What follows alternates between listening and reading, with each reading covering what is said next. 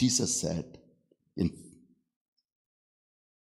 that you believe in me and you will do greater things.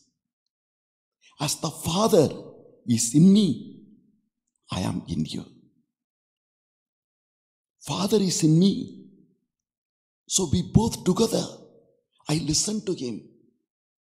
I discern him what he says. And I do accordingly. We read in Mark chapter 1, verse 35. The previous day, Jesus went to the house of mother in law Peter. And mother in law Peter was healed. And so many people came, and Jesus healed all of them. Became very night, and everybody went to sleep. They were tired. Early morning, the Holy Spirit woke up Jesus. Go and be with the Father. Daddy wants to talk to you. So Jesus rose and he was kneeling and praying on the mountain. Now the news spread night night itself and early morning Peter's mother-in-law's house is full of people, thousands of people. Now they are searching. Peter never thought yesterday Jesus did. And he is my master. He is with me. His spirit is in me today. Let me do. Now. Always we need help from others. No.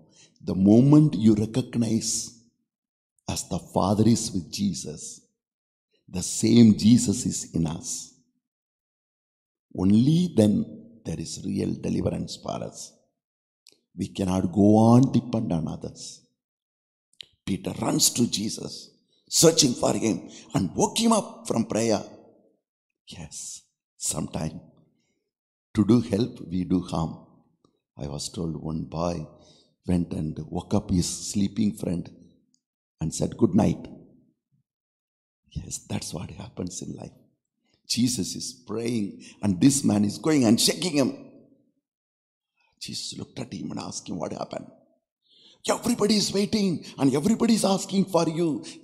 Jesus, Zindabad. Thousands of people have come. Jesus says, Sorry. My father has told me I had to go to other places. Peter gets angry. What are you talking? Ready made house, ready made crowd. Thousands of people are available. Come, come. Sorry. My father has spoken to me.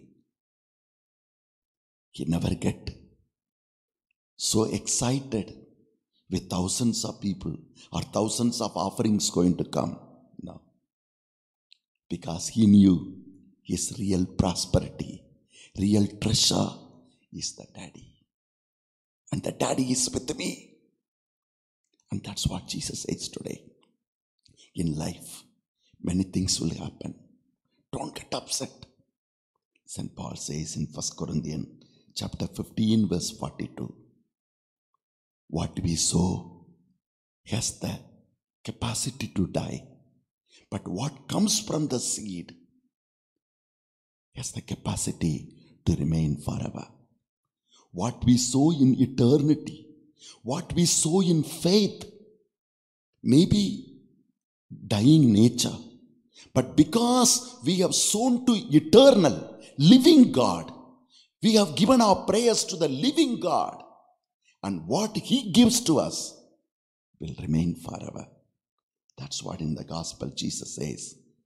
Whatever you ask in my name, I will grant it because I am with you. So, in asking Jesus' name means what? By just saying Jesus, His things will happen. No, when we say in the name of Jesus, we believe in the name of Jesus, number one. Believing means what? That's what he said. If you believe in my name, believe means what?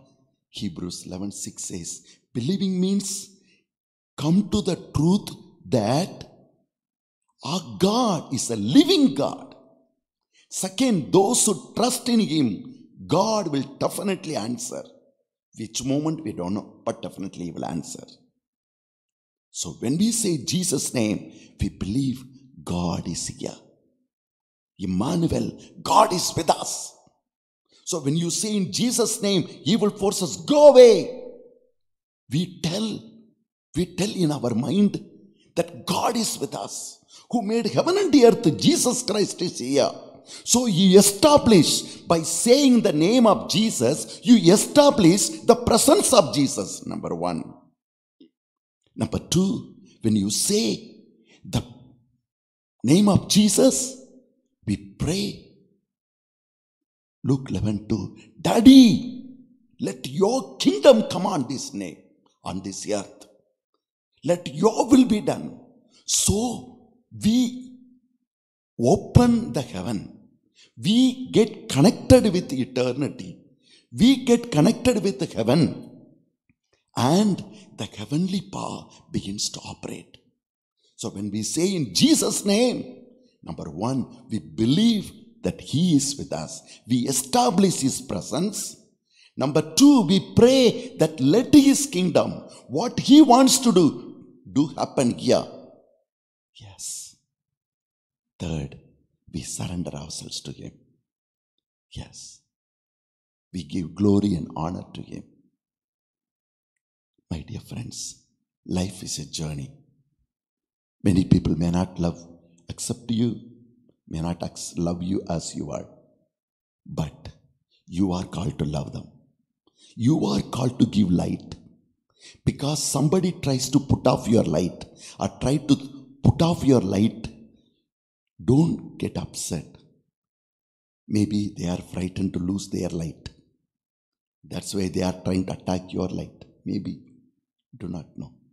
But you keep alive your light and give light to everybody. And your God will take care of you. Move on in life. Some don't accept you, don't get stuck up. Move on in life. And God is with you. Keep alive His name. As the Father is with Jesus, keep Jesus with you. Carry Him along with you.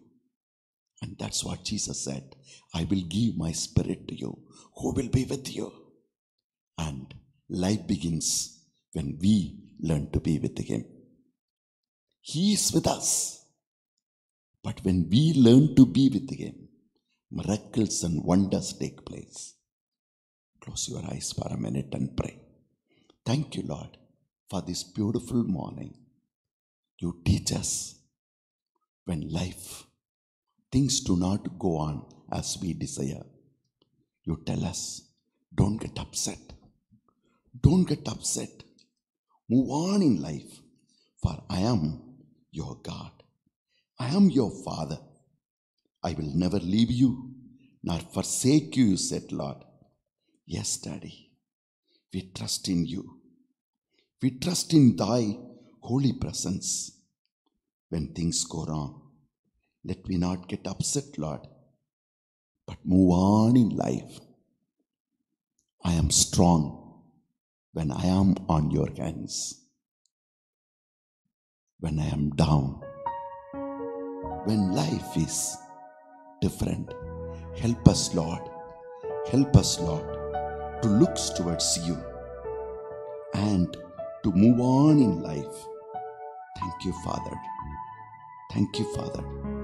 In my name, you will do everything you said, Lord. Yes, Daddy. In your name, we will have life.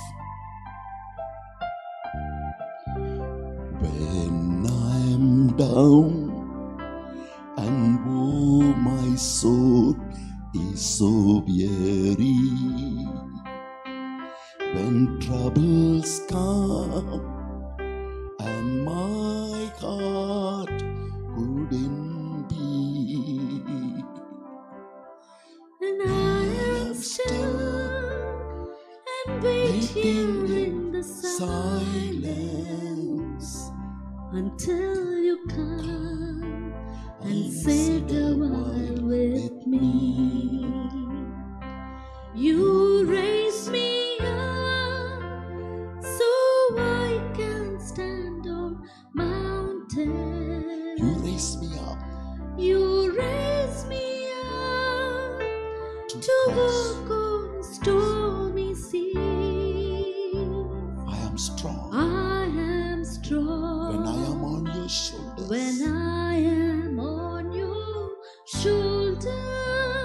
You raise me up. You raise me up to more than. To more than.